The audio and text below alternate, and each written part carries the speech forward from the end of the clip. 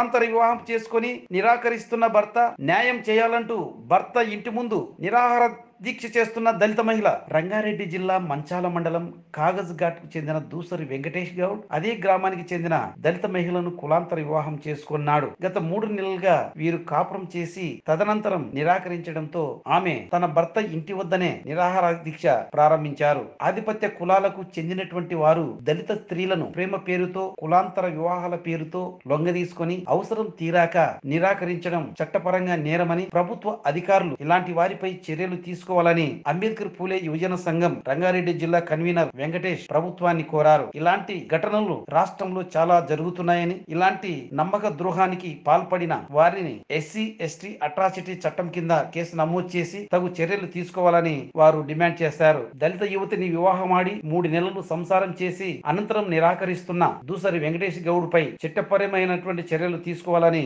వారు డిమాండ్ చేస్తున్నారు.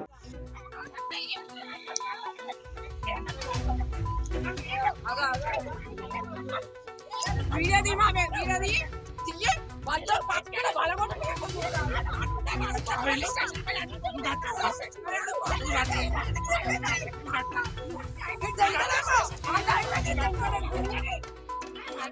আটা